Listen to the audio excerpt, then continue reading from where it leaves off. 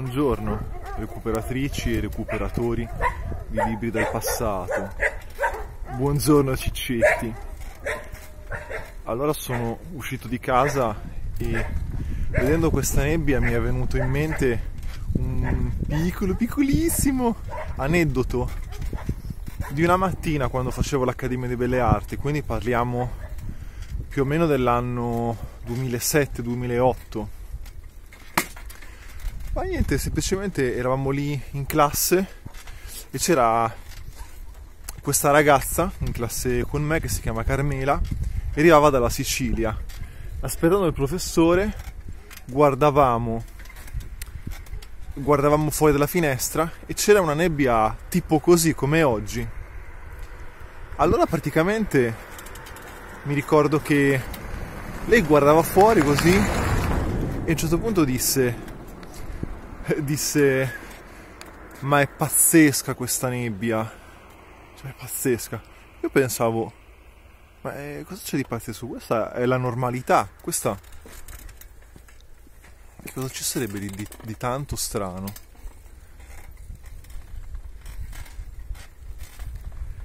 E allora quindi gliel'ho chiesto e eh, me l'ha spiegato. Cioè il, il fatto è che lei eh, essendo siciliana mi diceva ma in Sicilia in inverno non, non c'è la nebbia. Eh, a volte c'è un sole che stiamo in maglietta mezza manica anche a dicembre, gennaio. Io ero sconvolto, non ci potevo credere. Adesso il clima anche qui in Romagna sta cambiando tanto. Per esempio io tre giorni fa anche qui io ero in maglietta mezza manica al sole. Ma ma ma i tempi no non, non era possibile. Siamo a inizio novembre. Insomma, e, insomma, e, quindi, e quindi praticamente pensavo che qua ce n'è tanta. Qua ce n'è tanta. Arriva, eh, arriva. Ah, il paesaggio che si perde nel niente. Pensavo che insomma questa, questa Carmela era lì era, si era scavallata l'Italia per arrivare a fare l'Accademia di Belle Arti a Ravenna, quindi aveva abbandonato amici, genitori, chissà, forse un amore. E sul momento, quando ci pensi, quando ci pensavo, è incredibile pensare che una persona può arrivare dalla Sicilia per essere esattamente dove sei tu, dove tu sei nato, per avere a che fare con quel professore lì, per fare quel percorso di studi lì. E infatti io gli dicevo, scusami, ma, ma chi te l'ha fatto fare di abbandonare una, una, un'isola meravigliosa dove si sta in maglietta a mezza maniche a dicembre? Il clima, il sole è una mia grande fissazione. Dicevo, ma chi te l'ha fatto fare? Mentalità. Mentalità e forse un po' problemi in quella famiglia che le facevano un po' di pressioni e non, non, ci, si trovava, non ci si trovava troppo bene. Io in questo senso sono stato molto fortunato e sono fortunato perché con la mia famiglia mi sono sempre trovato bene, non ho mai avuto l'esigenza di dover andare in un altro paese o dall'altra parte dell'Italia. Lo riconosco, lo riconosco. È una delle tantissime fortune che ho avuto. E tornando, tornando a noi, a questa nibiassa romagnola, là ce n'è. Adesso torno indietro perché tanto in realtà non devo andare da nessuna parte. Spero che questo non tolga epicità al video. Non da nessuna parte. Mi...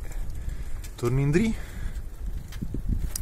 Comunque, mi ricordo anche un discorso così che eh, avvenne sempre in quel periodo lì in accademia, eh, l'Accademia di Belle Arti, quindi io facevo il corso di pittura e c'era il professore, il buon Marco, che un giorno diceva che solo noi abbiamo queste nebbie e quindi, oddio, io, io non so, eh, probabilmente eh, diciamo, eh, vabbè, insomma, è più, un, è più, un, fenomeno dal nord Italia che non da sud, ok? Su questo penso che siamo abbastanza d'accordo, e diceva il buon Marco, mm, il paesaggio che sparisce è un fenomeno pittorico di per sé, ecco diceva, cioè questa è già pittura, avere questo svaporamento nel bianco, questa cosa che altera i colori, perché ovviamente la nebbia è acqua che crea un filtro, sono molecole e quindi cambiano la luce, cambiano tutto. E insomma, a farla breve, diceva che insomma, diceva, diceva il paesaggio innebbiato è tutta pittura perché mh, otticamente, cromaticamente impone una riduzione cromatica, una sorta di ah, sintesi visiva. E così, e così. Chissà come sta Carmela. È tanto che non la sento. È diventata una di quelle persone che incrociavo poi nel centro. È rimasta a Ravenna un po' di anni dopo e poi dopo Oddio, spero, lei, spero per lei che sia tornata nella calda e mm, dolcissima Sicilia. Isola che prima o poi spero di visitare, ma cui si sta andando nel futuro, in un futuro di immaginazioni, invece stiamo nel presente. Questo voleva essere soltanto così un ecco, volevo soltanto appunto registrare questo momento questo paesaggio, queste ah, ombre giapponesi. E se riesco, se riesco forse stasera invece esco con una recensioncina di un film mitico degli anni 70. Per il momento è tutto e magari ci vediamo dopo. Bacetti ciccetti. Grazie.